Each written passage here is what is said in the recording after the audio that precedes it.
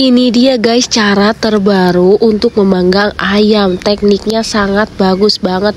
Ya patut diancungi jempol ini mah guys.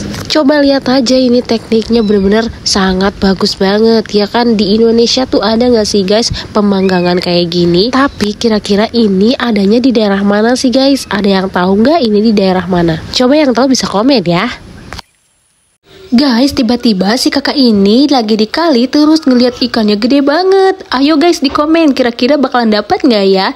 Menurut aku sih bakalan dapat tuh kan bener dapat kira-kira ikan apa ya guys?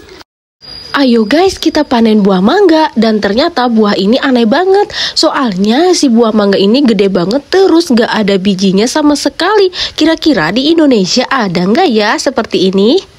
Telah ditemukan ular yang sangat panjang banget di pinggir kali guys kira-kira ini ularnya berapa meter ya terus udah gitu ularnya gede banget ih serem banget Wah guys, si kakak ini lagi panen ubi yang sangat besar banget. Hmm, kira-kira ini rasanya gimana ya guys? Ubinya ubi ungu loh. Kira-kira di Indonesia ada nggak ya ubi sebesar gini? Coba kalian komen. Ayo guys, kita panen stroberi yang terbesar di dunia. Hmm, kira-kira kalian pernah lihat nggak stroberi terbesar kayak gini? Aku sih baru pertama kali guys. Zaman sekarang memang udah sangat canggih banget ya guys Pengambilan tanah aja sekarang ada mesinnya Tuh kan ini tuh mesinnya gampang banget loh ngambilin tanahnya tuh sampai panjang kayak gitu ini dia guys, buah nangka yang terbesar di dunia. Kalian pernah lihat nggak buah nangka sebesar ini?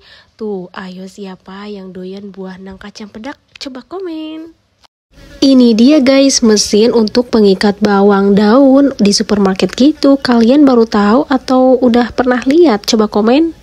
Guys, ada yang bisa nebak gak? Si kakak ini kira-kira punya ayam berapa ya? Terus ini banyak banget ayamnya. Menurut kalian ini ada berapa ratus ribu sih ayamnya guys? Tuh guys, lihat telurnya juga sangat banyak banget. Sekali panen langsung banyak dong. Yang bisa bantu jawab komen ya.